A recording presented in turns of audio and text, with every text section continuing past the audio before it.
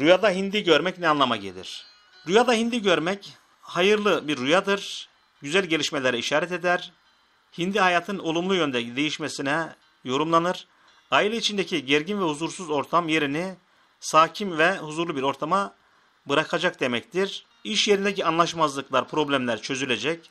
Özel hayattaki fırtınalı olumsuzluklar durulacak demektir.